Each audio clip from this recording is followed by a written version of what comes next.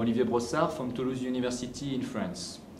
I'm going to present in a few words uh, the results of an empirical study we conducted within the work package 5 of the FINNOV project.